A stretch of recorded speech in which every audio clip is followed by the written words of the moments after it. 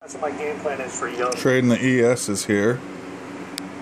Up 1420 bucks right now. 1350. I must need to get out here Uh, pretty anyway, soon. For, and I'm going to get back to crude Uh, chart in a minute.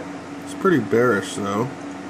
But uh, yeah, there's a much that. longer term uh, trend line, guys, down here uh, in Slob. Um, I think I'm gonna hold in actually. 77, 78 ish See what this is doing here. Um, depending on how you draw it, maybe it's not perfect. It might got be a 70 bit more, puts. 78, 50. Uh, yeah, it's probably right there. Probably like Up 78, sixteen 79. hundred and thirty dollars, We're gonna have a seventeen nice long-term bounce. Uh, See what's going on here. The ticks uh, are all negative. Slob around 79. Schlumberger. We're falling below support. But as you can see here on the six-month daily chart, we just broke two new lows. Here we go. chart, we just broke two new We might make another on a weekly fifteen hundred chart, bucks we right are here. now back into the uh, basically See what's going on. 2013 levels. And uh, Um, longer-term trend line down here, like I said, around 78 to 79-ish. Ticks are still Uh, bearish. Also in that space, lost key support. Remember, I got in this, saw it wasn't working, got out. You know what I mean? I'm glad I did. Now we're up is lower. 18, Uh, so Weatherford's another one. Baker Hughes just hit another lows. 45. Uh, I'm, I'm sorry, Weatherford just hit new 52-week lows. Still looking like it's Uh, falling Baker though. Hughes holding up a little bit better. Up two grand. Cameron CAM is another one in the space. 2100. I've been waiting uh, for this day. Offshore. Um, Just beautiful. Halliburton,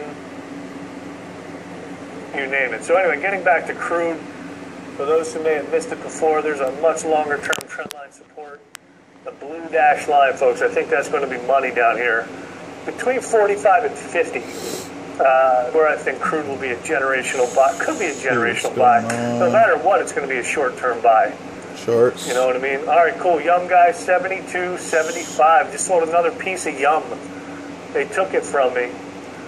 YUM, Yankee Futures. Uniform Mike, 72, 79 now, new intraday highs.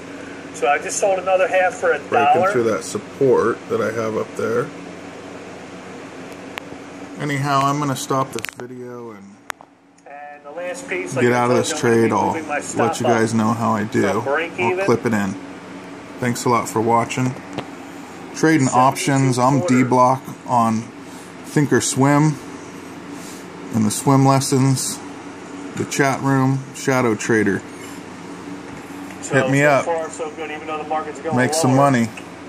Here we go. Let's see, we're folks. making money now. You know, that's what's great. Back over 2100. Sometimes you find story stocks and uh, 70 you pack. just go with it. A trade setup is a trade setup. We're gonna make five grand a day. Wouldn't that be nice? Maybe not five, but maybe two or three.